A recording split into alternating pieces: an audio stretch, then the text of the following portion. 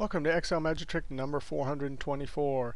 Hey, if you want to download this workbook and follow along, click on my YouTube channel, then click on my college website link, and you can download the workbook Magic Tricks 423 to 430. Hey, in this trick right here, we have a little table, and I just made a small table. You could have a much bigger table, so it fits on the screen. I made a small one. But we want to be able to select a name from this range right here and a month from this range right here and have conditionally formatted just those cells. We have a formula here that adds uh, a, with a dynamic range. So if I go here to uh, May, right? I want Joe's sales all the way to May.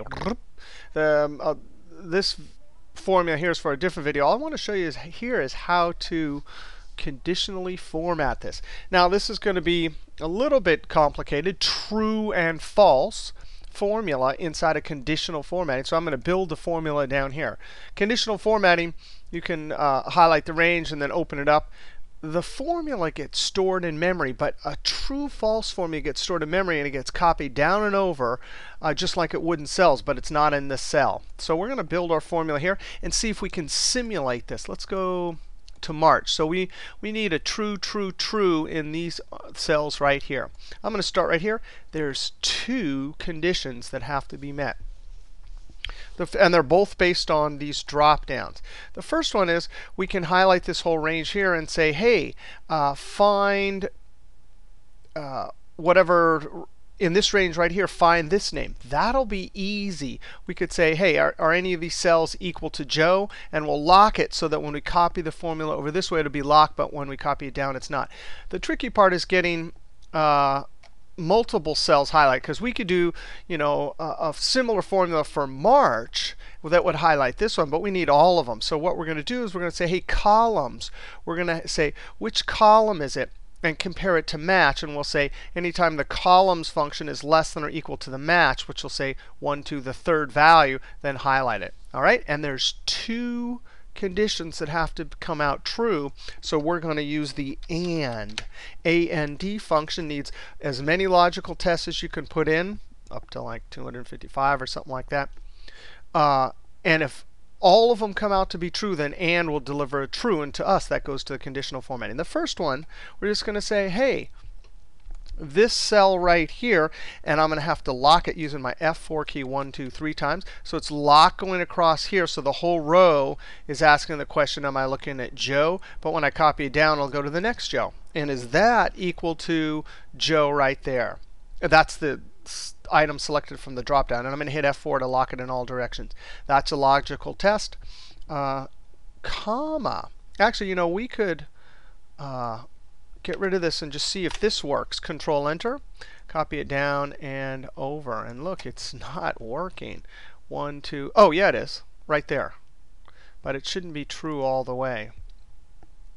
Oh, yes, it should. We will eliminate, for, so for that part of the true, it's true. When we add our second condition, these will be eliminated because we're saying column for March. We're going to say, hey, March uh, is the position of that, which is 3 less than or equal to our columns. Only these ones will come out true, not these ones. So these will be eliminated with our AND.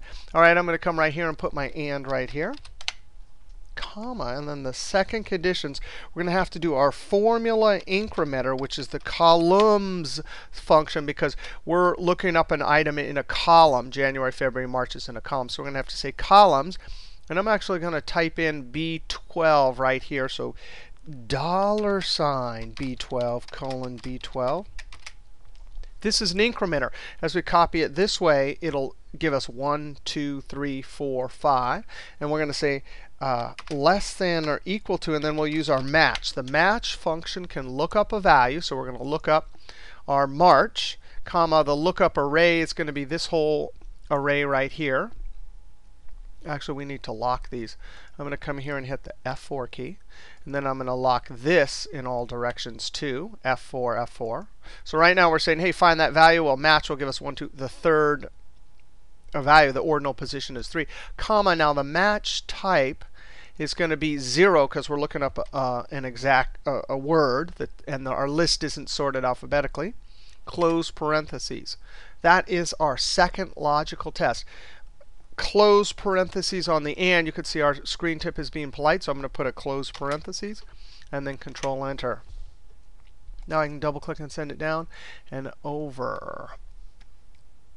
And sure enough, you can see now that second part to our and be, turned these false, so that those are true. And watch, if we change this to say Sue, right? Now it's true down here. And if I change this to uh, April, and now all of these are true. Now, the trick to doing complicated or seemingly complicated true-false formulas in condition conditional formatting is literally to build them in the cell and prove to yourself that it's working. Because once we copy this, Control C, escape. Once we copy and paste it into Format Cells dialog box, it's, it's stored in memory. And so sometimes it's hard to figure out what it's doing without doing this in the cells.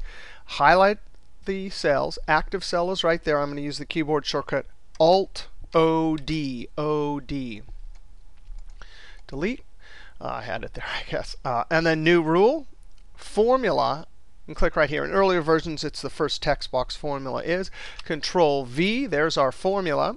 And I'm going to click Formatting.